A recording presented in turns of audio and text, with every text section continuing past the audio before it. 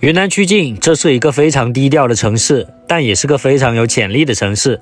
在旅游方面，它虽然比不上丽江、大理，但在经济方面，它排在全省第二。这里的人都非常热情。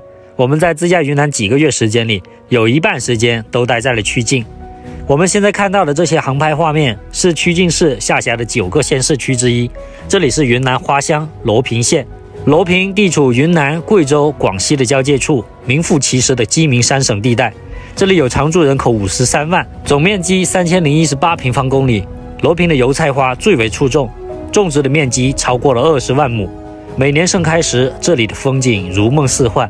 很多人都是通过油菜花知道了罗平，但是大家都不知道的是，罗平不仅仅只有油菜花，这里还是全国旅游百强县，全国烟叶生产第一大县。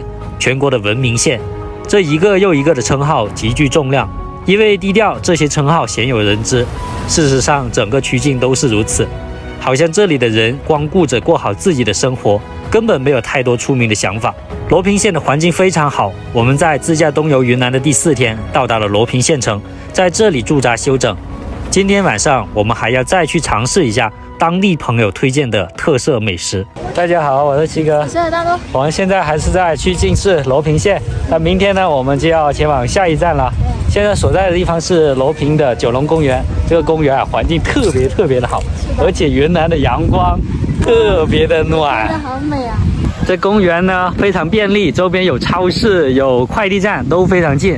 吃东西呢也很方便。但是啊，我们到目前为止还有点懵，就。罗平的特色到底是什么？直到昨天晚上我们发那个视频，很多朋友跟我们说一定要吃吃这边的鱼，罗非鱼。对，所以今天我们要去试一下。听说罗平的罗非鱼还有腊排骨都很好吃。那今晚要吃什么？嗯，吃罗非鱼吧。先吃鱼啊！云南的天空真的太蓝了，这边的气候太棒了。这条街叫东关街，前面还有一条西关街。这两天我们一般买啥东西、吃啥东西都是过来这边，还是挺方便的。对，吃的也多，超市、水果店都多。罗平被称之为花乡啊，全国油菜花最多的地方。然后我们这一次来其实时机不太对，但本来这一次就是路过嘛，路过都待了好几天，也够了。到了这里，往左转啊，这一条就是西关街了。今晚我们在这条西关街找一家鱼庄。罗平的环境还是相当不错的，在马路的中间，他们居然搞了一条这么宽的绿化带，然后里面还有人行道。它人行道不是在两边，而是在中间。这个设计。这里有个马街罗非鱼庄，我们就在这里吃吧，比较专业，看起来。今晚这一摊也是抖音团购的，然后五十八块钱。待会呢是应该是一条三斤左右的鱼，然后再加一点配菜。但是啊，今晚是吃的汤锅。以前我们吃罗非鱼大多都是吃的烤的，但是这边就有一种特色，就是整条鱼放下去煮。我们待会要尝一下这种是是什么样的味道。这个是我们的锅底，这一大锅是清汤锅啊。等一下，把鱼子鸡放下来。这个就是我们今晚要吃的鱼，它是这样一整条的，待会放下去炖，而不是说像之前我们去其他地方吃的，切成鱼片或者切成一块一块，就这样一整条。这个汤很香，我觉得我可以先喝一碗。先喝嘛，确实是很香，有有一股独特的那种什么味道来着？可能是它放的这个白白的这个东西煮出来的那个味道。这是大葱。葱头是吧？葱头味。我知道这个汤是什么味道了，这就是那个辣排骨的那个香味。对我我很熟悉这个味道，因为我们之前在丽江的时候吃过辣排骨火锅，就是这个味。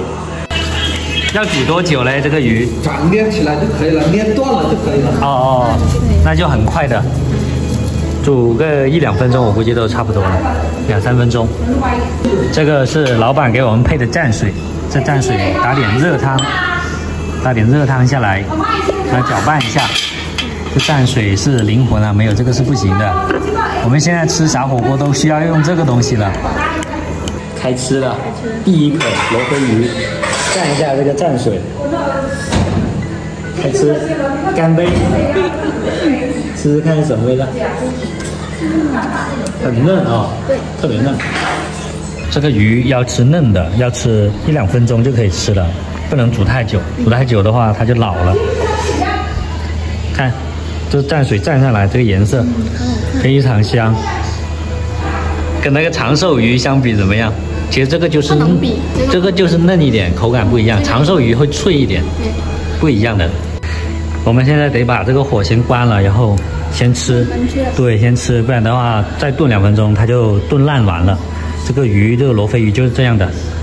我们在罗平四天时间了，然后罗平的特色今晚也吃到了。这一期呢，我们就简短一点，因为我们要抓紧时间把这一锅干完，不然的话等一下坏了就不好吃了。